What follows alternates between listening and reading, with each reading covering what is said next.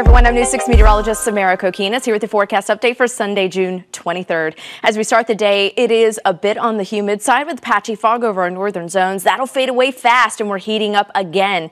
We're headed to a high of 96. It'll feel like 102 to 107 for the afternoon. A few straight showers are possible along the coastline. Make it a great day. Be prepared when storms come your way.